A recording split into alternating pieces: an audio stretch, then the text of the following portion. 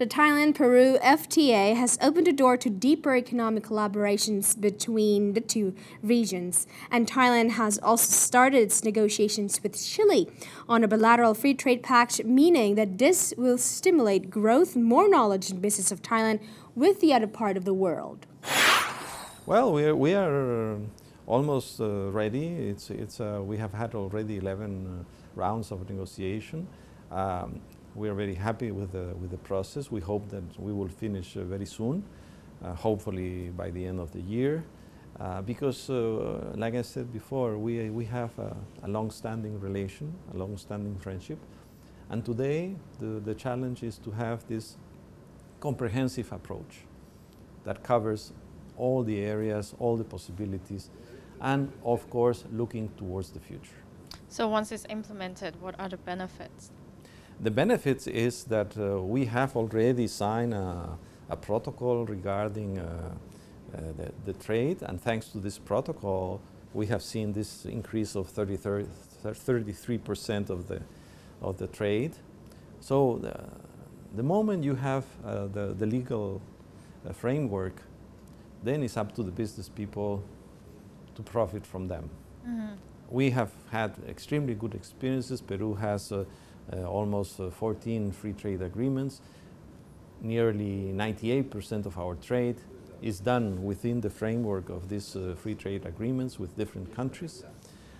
And for us, it has been a very good experience. Of course, uh, that has also allowed us to take care of problems and also to concerns about um, environment and, and labor and other kind of issues which are also very important to be addressed. I think Peru has many things to offer. First, I would say that it's a country that is open to the world. The people are very friendly. Allow me to be uh, so with some lack of modesty in the sense that, but you asked me and I have to tell you, uh, we are a friendly people. We are uh, giving to the world the possibility of sharing with us development, growth, and we are a country with a lot of natural resources. Yeah. Uh, we are a mega diverse country. And in that sense, you can start looking at the similarities. Uh, we can share, and we have to share with other countries like Thailand, for example, the concerns about the environment, the concerns about the, the natural resources, and like I said, it's not just about selling or buying things. It's about sharing a friendship. And uh, in that sense, uh, what Peru has to offer, first of all, is friendship. It's the possibility of doing good businesses, but most of all, a good friendship. According to the data based in 2011, through increased economic cooperation, Thailand's exports to Latin America are projected to top 20 billion US dollars within three years, which is actually a big jump from the estimated 7 billion US dollars back in 2010. This is largely due to Thailand's push for closer business ties with Latin America, following significant progress by Thailand itself in forging various trading pacts over the past decade both Latin America and Asia are on a track of greater progress and prosperity, which heightens Thailand's role as a vibrant business hub in ASEAN. Well, we are, we are looking for the possibility of uh, a more comprehensive uh, uh, export from Thailand, and that's also one of the reasons why we, we are negotiating this trade agreement. And also, we're looking into the possibility of uh, uh, becoming hubs uh, Peru is very interested uh, in, in, in, in, becoming a hub for Thailand in South America. And also... Is it for laborers, becoming hub for laborers or becoming no, no, hub it's, for... it's like a, how can I say it, to, to become like a, like a principal center, like a, the, the principal destination from which afterwards you can look to other, other South American countries. Latin America. Yes, because also on the political level we have uh, uh, such a good level of understanding and, and, and, and dialogue that we have uh, uh decided to, to have like an, a, very strong association. And, and this uh, strategic uh, association means that we have to, to keep on working so that we can really be the main partner, of course, And that's also what we are looking forward. Like I said, it's not just about uh, product. According to the former Thai Prime Minister Abhisit Vejjajiva, Latin America and Asia would become the main drivers for economic growth, replacing the United States and Europe.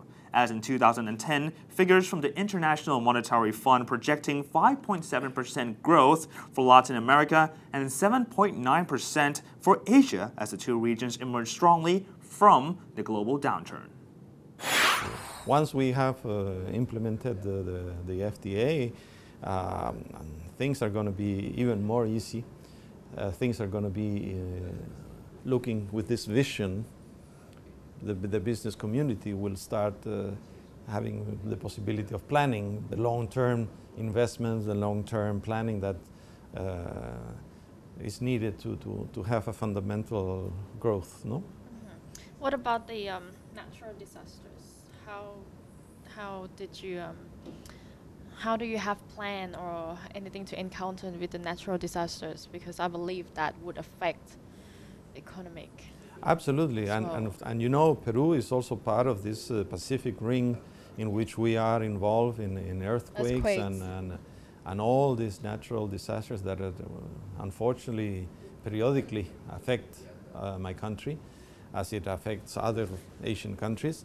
And in that sense, we have developed some skills, some uh, techniques, some uh, abilities also that we're sharing to the countries. Because what we are doing is we're trying to, we're promoting uh, these specific agreement, which is uh, management in, in, in, in case of uh, crisis, in case of natural disasters. We feel very strongly that this cannot be a one country approach. We have to work together. That's also why we, we promote this, uh, the, the, the signature of these kind of agreements to share experiences and to share the, the knowledge that, that, are, that is needed. That's also linked with this emphasis that I make on the protection and uh, promoting the environment. We have to be aware that uh, today the humankind is really acting in a very destructive way. We have to be very responsible. So, in, in the sense that uh, we cannot uh, prevent, unfortunately, the, the, the natural disasters, Yes. but we have to do what is necessary to try to mitigate and try to reduce these events. The, the backup plans, I, I would say, uh, is uh, we have two backup plans. First of all, we have this approach towards the international community. Internally, we have uh, naturally we have uh, the, the, the la- what we call the, the civil uh, service uh, action plan to, to, to act upon. But on a third one, we have a financial backup resources in order to, to, to deal with this problem whenever they, they, it happens. We have a What about the import and export section? well, uh, of course, uh, it's uh, one of the main consequences, but we're talking then an, about a, an extremely big disaster. but uh, yes, I think we, we are somehow prepared. But of course, when it comes to nature, uh, nature gives the last word. And that wraps up today's edition of Towards 2015. You can watch us again every weekdays from 3:30 to 4 p.m. on the Nation channel. Thank you for watching us. สวั